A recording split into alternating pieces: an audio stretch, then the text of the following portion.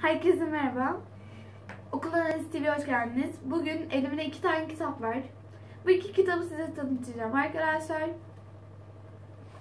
Birinin adı Gizemli Prenses. Birinin adı Şeker Kız. Bu iki kitap da gerçekten çok güzel. İlkokula yönelik. Hiç sık verecek ve ayrıca sürükleyici bir yönü olan kitaplar arkadaşlar. Hangisinden başlayalım? Şöyle ilk önce kapaklarını göstereyim ben size. Şöyle. Gizemli Prensesimiz böyle. Diğeri Şeker Kız. Bunun kapağı böyle.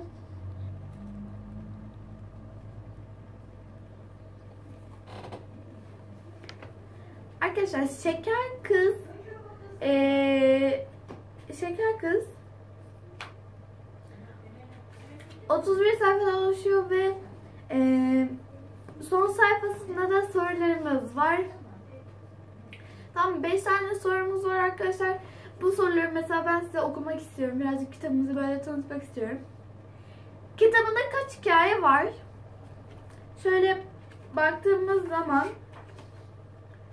kitapta arkadaşlar tam 5 tane e, kitapta 5 tane hikaye var.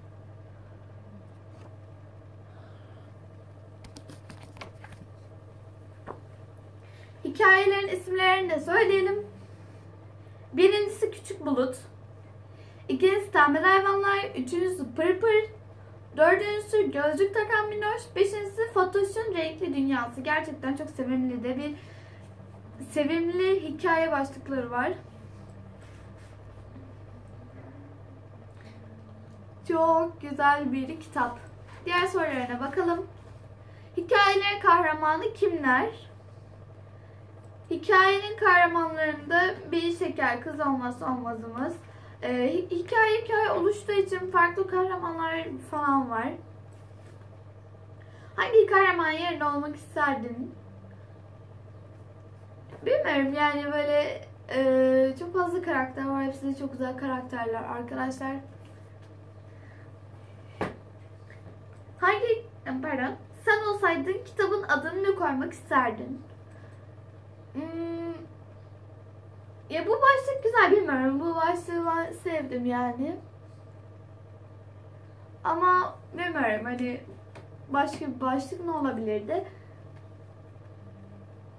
Tabii e, siz bunu hikaye okuduktan sonra daha çok şey yapabilirsiniz. Ben şimdi söylemiyorum.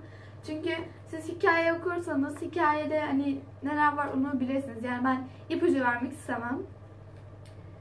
Hikayelerde geçen temel olaylar nelerdir? Güzel boşlukta bırakılmış. Buraya da cevap yazılabilir. Buralara. Güzel yani ilkokula yönelik çok uygun bir kitap. Sonra diğeri Gizemli Prenses.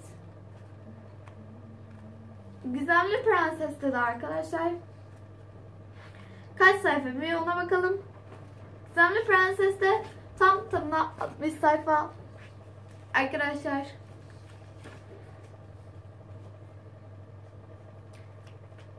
Şimdi Gizemli Prenses'in son sayfasındaki şu cümleyi okumak istiyorum. Hani birazcık şey yapalım. Örnek verelim nasıl bir kitap yani gibi. Prenses ise yoluna devam ederek gittiği yerlerde ilim tahsiliyle meşgul oldu.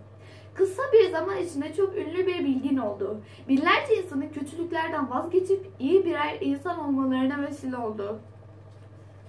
Buradan bile e, ben bile meraklandım yani. Burayı okuyunca herkes meraklanır. E,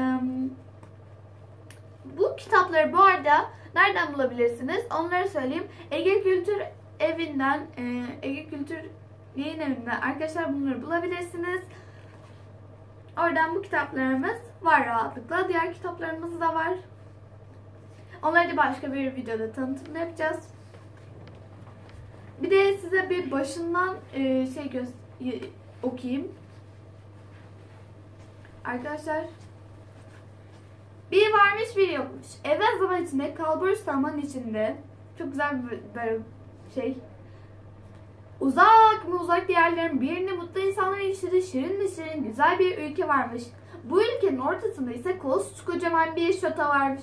Dağların dağda, dağlarındaki çam ağaçlarının kokusu tüm ülkeye yayılırmış. Ormanlarda, kırlarda uçuşan serçeler, çayır kuşları, ispinozlar, kara tavuklar, kanaryalar varmış. Çok güzel bir giriş olmuş arkadaşlar. Çok sevimli bir giriş olmuş açıkçası. Yani merak sarıyor insanı. Çok güzel iki tane kitap tanıttık arkadaşlar. Bunu dediğim gibi Ege yayınlarından bulabilirsiniz.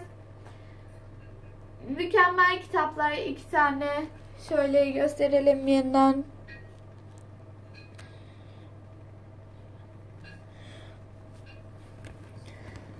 Hani böyle ilkokulların çok hoşuna gideceği iki birer kitap arkadaşlar. Bir sonraki videolarda görüşmek üzere. Takipte kalın. Ayrıca bu videoya like atmayı ve hala kanalımıza abone olmadıysanız abone olmayı, aşağıdan abone olmayı unutmayın arkadaşlar. Bir sonraki videolarda görüşmek üzere. Takipte kalın. Hoşçakalın.